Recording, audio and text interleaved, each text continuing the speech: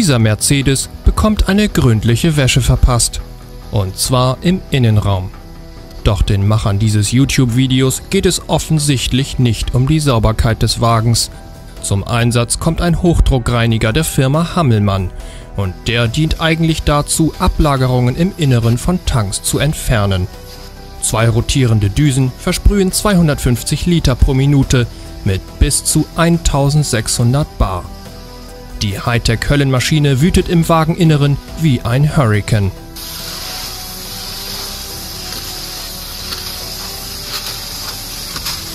Sogar die Scheiben gehen unter so viel Druck zu Bruch.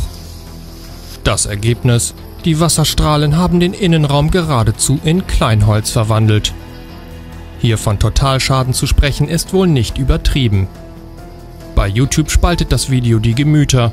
Immerhin handelte es sich bei dem zerstörten Auto um einen völlig intakten 190e, ein durchaus begehrter Youngtimer. Da blutet manchem Mercedes-Fan sicherlich das Herz.